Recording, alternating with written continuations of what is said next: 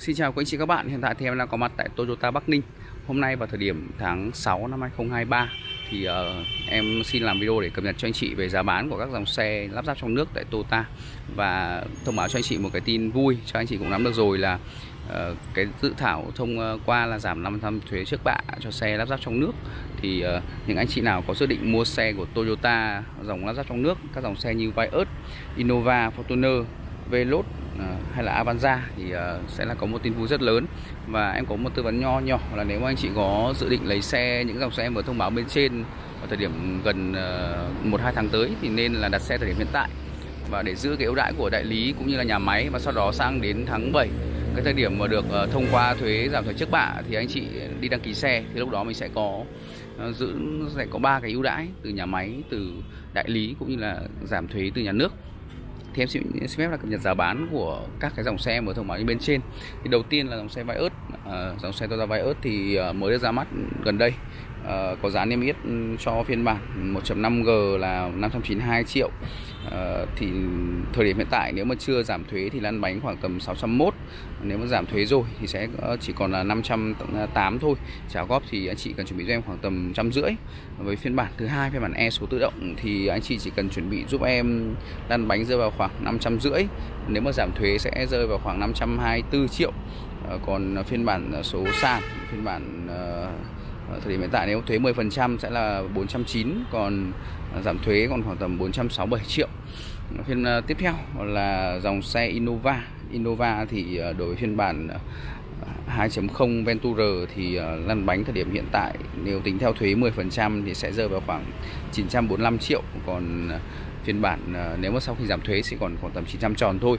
Còn nếu mà phiên bản 2.0 ờ, số tự động thường như trước mắt chúng ta đây, thì ờ, thời điểm thuế 10% sẽ lăn bánh là khoảng 927 còn tuy nhiên là nếu được giảm thuế sẽ còn khoảng tầm 883 triệu.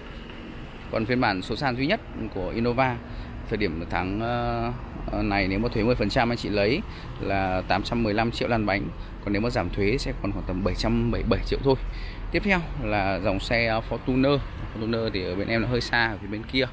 Fortuner thì ờ, có ờ, 5 dòng xe được lắp ráp trong nước thì là năm phiên bản được lắp ráp trong nước là phiên bản số sàn. Có lăn bánh thời điểm hiện tại là khoảng tầm 900 1 tỷ 000 93 triệu. Còn nếu mà giảm thuế thì chỉ còn khoảng tầm 1 tỷ ờ, 042 thôi.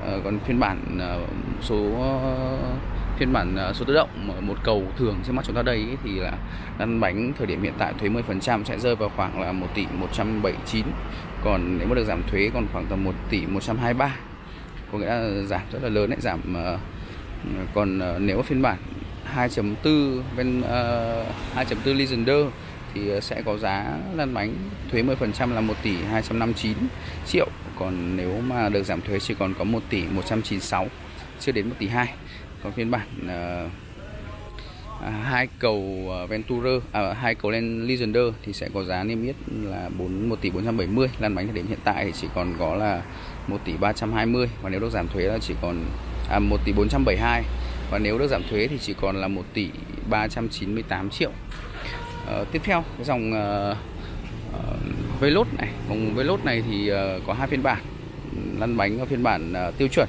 Thì uh, thời điểm hiện tại là khoảng tầm 609 tuy nhiên là được giảm thuế thì anh chị chỉ cần trả trước cho em khoảng tầm 657 triệu. Còn phiên bản uh, cao cấp phiên bản top thì có giá niêm yết là 698 lăn bánh thời điểm hiện tại thuế 10% thì sẽ rơi là khoảng 720 còn uh, giảm thuế thì sẽ chỉ còn khoảng tầm 607 687 triệu thôi. Uh, cuối cùng là dòng uh, Avanza. Avanza thì ờ, ờ, có hai phiên bản là số sàn và số tự động. Nếu phiên bản số sàn lăn bánh thời điểm hiện tại thì khoảng tầm 598 598 599 triệu. Tuy nhiên là được giảm thuế sẽ còn khoảng tầm 570 à, còn phiên bản số tự động lăn bánh thời điểm hiện tại khoảng tầm 627 tuy nhiên là được giảm thuế thì à, chỉ còn khoảng à, 600 597 à, triệu thôi. À, vừa rồi là cái giá rất tốt cho những cái dòng xe của của Toyota lắp ráp trong nước. Anh chị nào cũng quan tâm đến các dòng xe như em vừa thông báo bên trên là Veloz, Ờ, vải ớt Innova, Fortuner, Avanza. Thì uh, nghiên cứu đặt sớm thời điểm uh, trong tháng 6 này và sang đến tháng 7 thì uh, mình uh, đi đăng ký thì là được nhận được rất nhiều ưu đãi đặc biệt là các dòng xe đang được hỗ trợ từ nhà máy như là Veloz, uh, Avanza và Vios các dòng xe đang được hỗ trợ từ nhà máy thì mình sẽ được có ưu lại ưu đãi ba ưu đãi đấy, từ nhà máy, từ đại lý và từ nhà nước. Ờ, vừa rồi thì em thông báo chị về sơ bộ giá của các dòng xe thời điểm hiện tại lắp ráp trong nước. Và anh chị nào quan tâm đến các vòng các vấn đề khác về xe của Toyota thì vui lòng liên hệ giúp em qua số 2 trên màn hình. Em xin phép hẹn anh chị những video tiếp theo. Xin chào và hẹn gặp lại.